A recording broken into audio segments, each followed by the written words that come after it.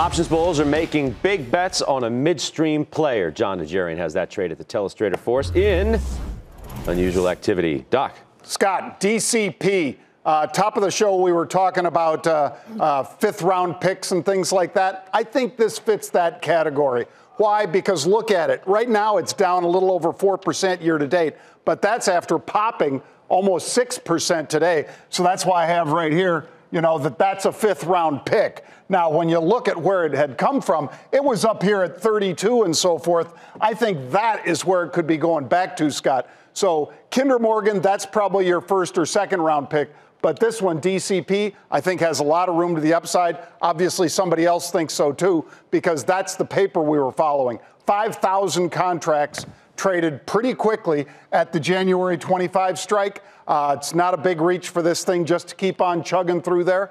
I bought these. I'll probably be in them till about the second week in January. If I like it at that point, maybe I extend out and roll it into perhaps uh, April options at that point.